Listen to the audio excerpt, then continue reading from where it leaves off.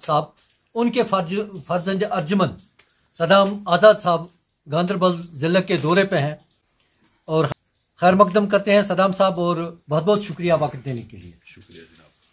सदाम साहब आज आपने गांधरबल ज़िले का दौरा किया। किस तरह देखते हैं डेमोक्रेटिक प्रोग्रेसिव आज़ाद पार्टी और यहाँ गांधरबल ज़िले के जो ज़िले सदर कैसर सुल्तान जिन साहब हैं उनकी कारकर्दगी के हवाले से क्या कहना चाहते हैं? पहले तो मैं शुक्रिया अदा करना चाहता हूँ। जो भी लोग मेरे से मिलने आए जी। हमारी बहनें मिलने आई हमारे भाई मिलने आए तो मैं खुले दिल से कहता हूँ कि कि खुशी भी हुई और थोड़ा सा बुरा भी लगा इसलिए क्योंकि यहाँ बहुत सारे मसले हैं। जी।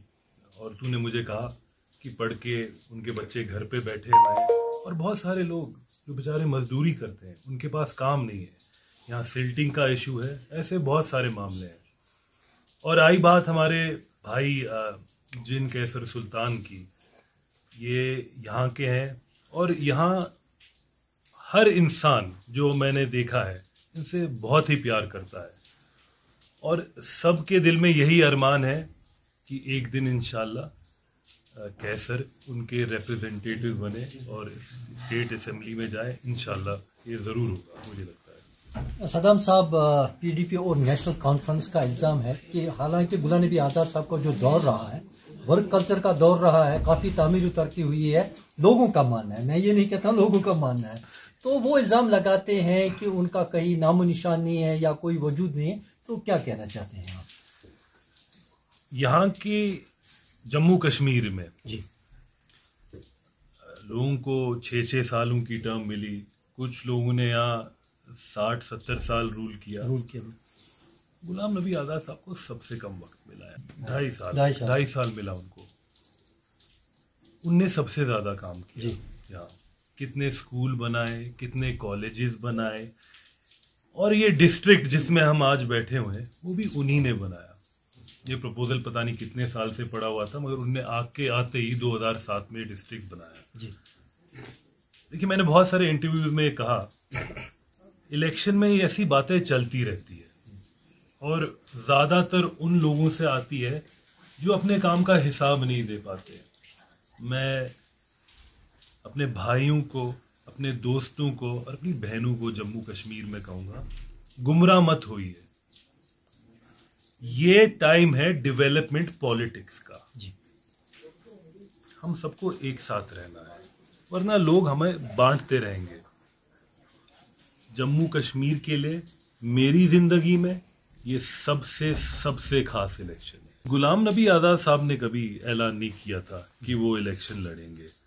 मेरे ख्याल से गुलाम नबी आज़ाद साहब जम्मू कश्मीर के लोगों को दिल्ली से सर्व करने के लिए आए थे। जी। और ये तभी हो सकता है जब हम यहाँ विधानसभा स्टेट असेंबली के चुनाव लड़े और इंशाल्लाह अपनी सरकार स्टेट में बनाए।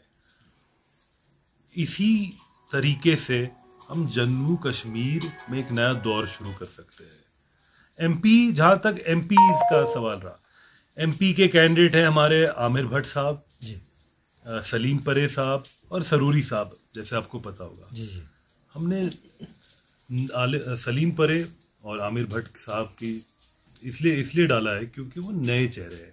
नॉन पॉलिटिकल फैमिली से है। यहाँ पॉलिटिकल फैमिली से बहुत लोग लड़ते आए हैं लड़ते आए हैं। मेरे ख्याल से बहुत सारे लोग चाहते हैं कि नए लोग आए नई आवाज़ें आए पार्लियामेंट में आए। तो इनको कामयाब कामयाबी देने के लिए मैं उनसे गुजारिश करूँगा कि इस बार हर किसी को मौका दिया। डीपीएपी को मौका दीजिए प्लीज़ है कि वो डिफर की जाए तो आप भी उसके उस हक में हैं। देखिए मैं इतना ही कहूँगा अगर जमहूरियत तभी होती है जब हर इंसान वोट कर पाए। जी।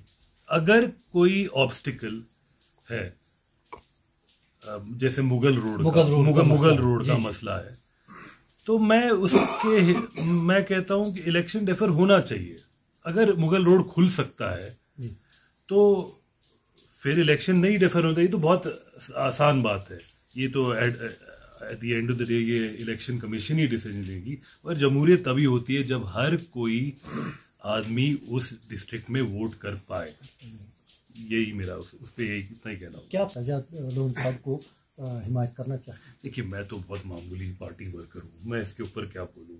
नहीं, फिर भी पार्टी का क्या मंशूर है इस हवाले नहीं मैं नहीं जानता। ये ऐसे सवाल तो हमारे सीनियर लीडर हमारे वाइस प्रेसिडेंट्स और या हमारे पेट्रन चेयरमैन गुलाम नबी आज़ाद साहब को पूछिए इससे मैं बोलूँ तो गांधर गांधरबल के नौजवानों को क्या मैसेज देना चाहते हैं? आप गांधरबल के नौजवानों को ये मैसेज देना चाहता हूँ कि एक नया दौर आएगा। ये आप अपने दिल में भरोसा करिए। अगर खुद भरोसा नहीं करेंगे किसी और को आप भरोसा नहीं कर पाएँगे। इनशाला डीपीएपी का साथ दीजिए लोटे का साथ दीजिए।